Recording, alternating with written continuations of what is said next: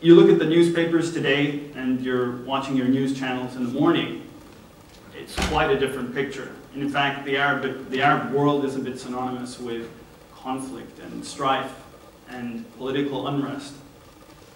Now, when I came back to the UAE after my studies to start work, both as a veterinarian and more so as a scientist for my country, I realized I wasn't happy with this image. And I decided to go and find the science that I was so passionate about in our people.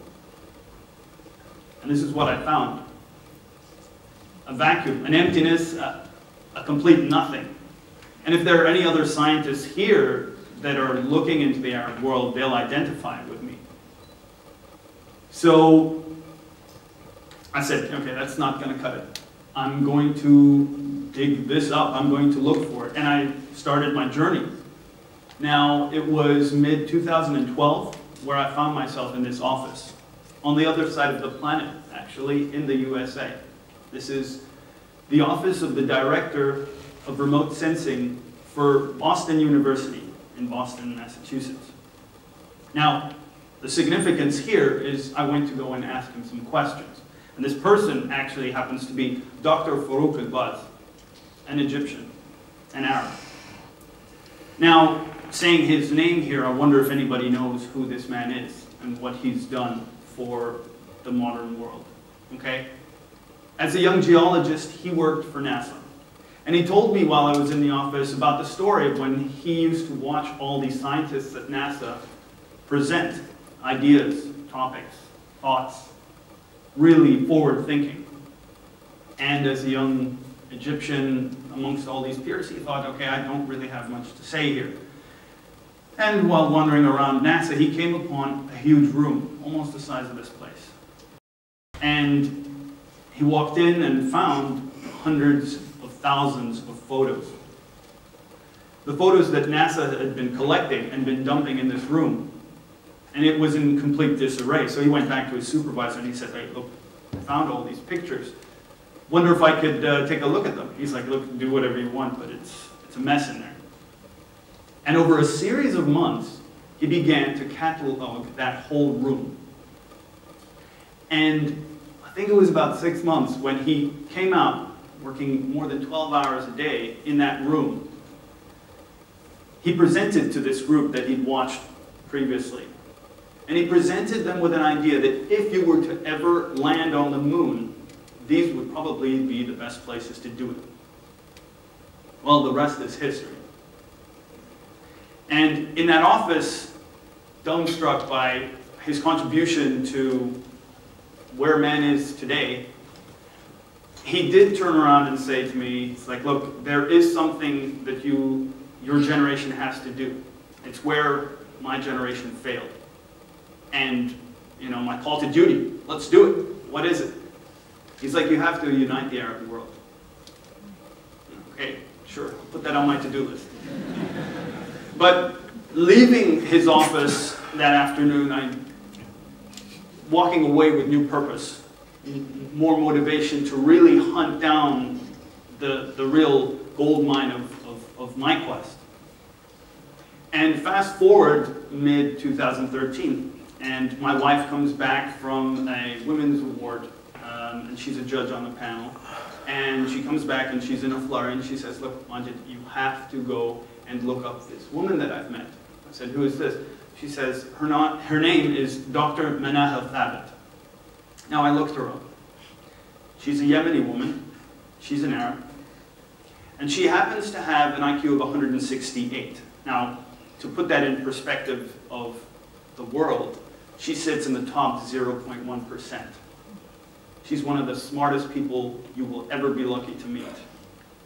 Now, it doesn't just end there. She actually has two PhDs. And get this, the first PhD is in financial engineering.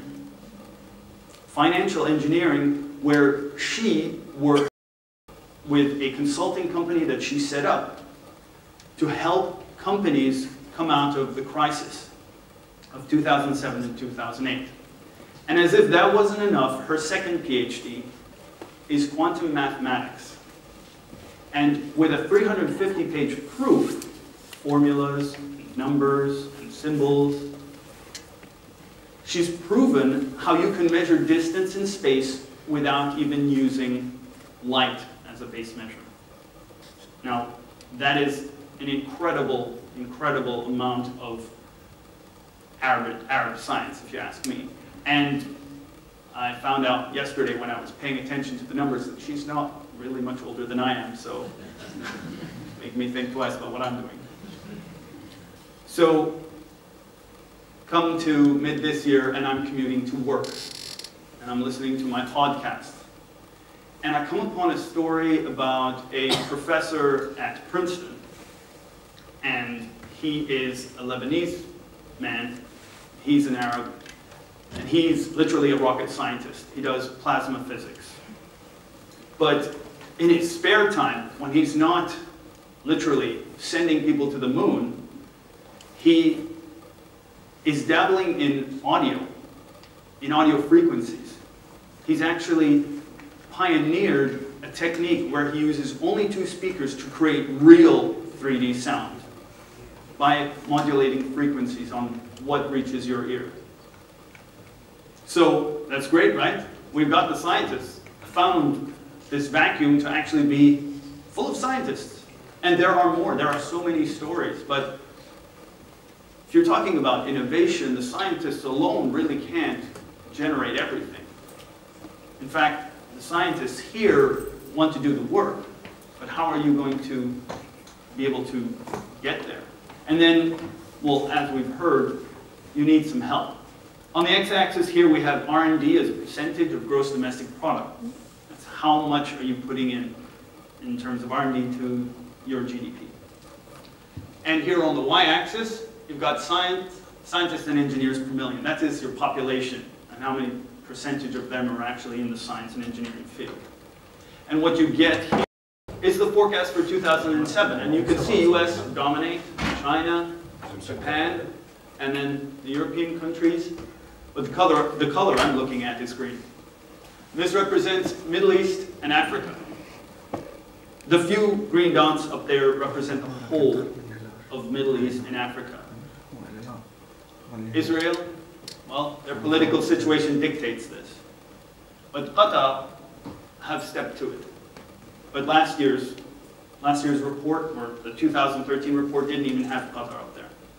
And then the only other Arab country really here is Saudi Arabia.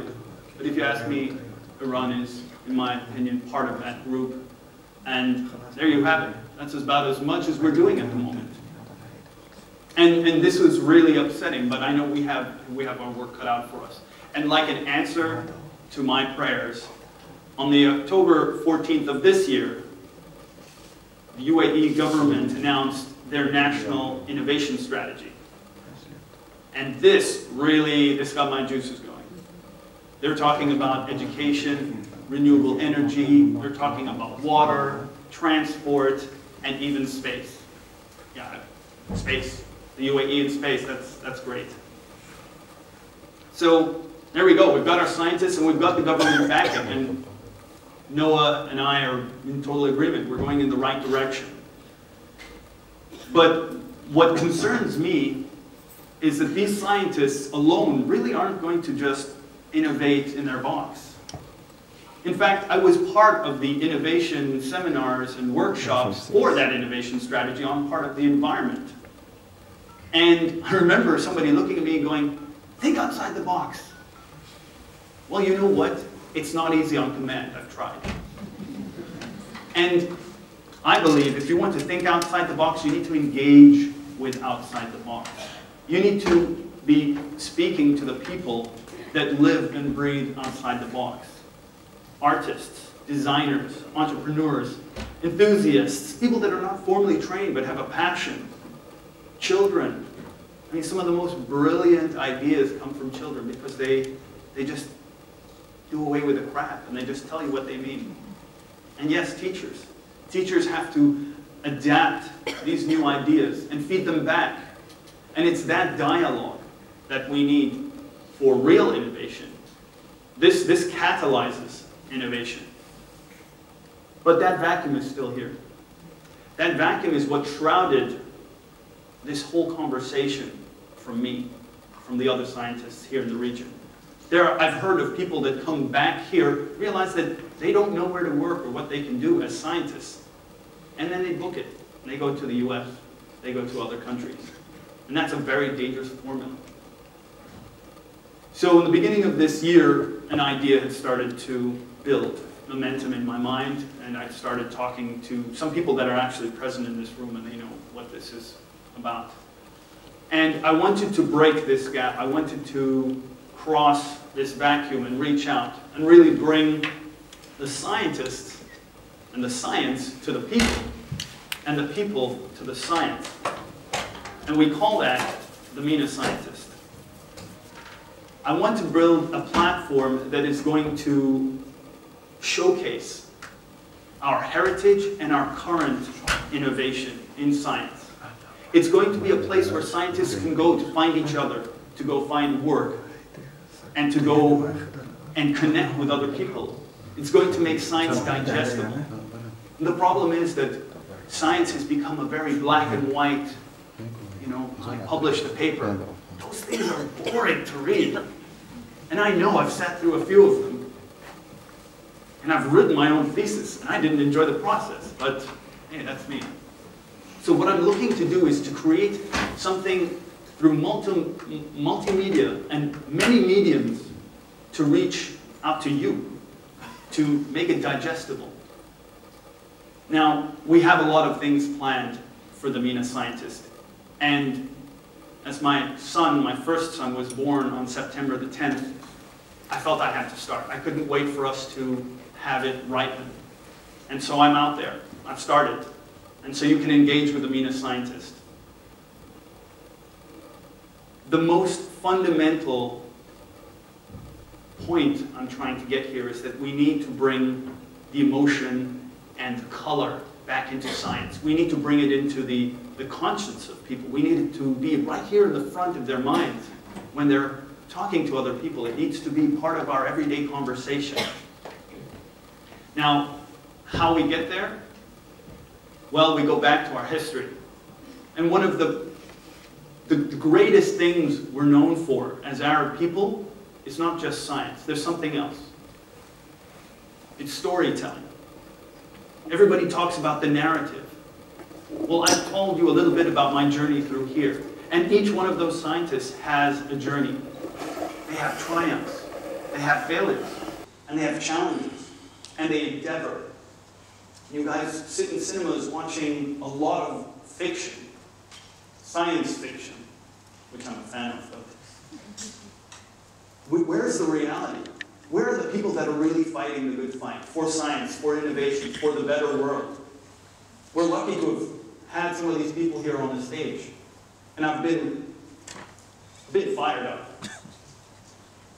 But really, what would give me more pleasure than anything is that if one day you would join me for Once Upon a Time in a lab.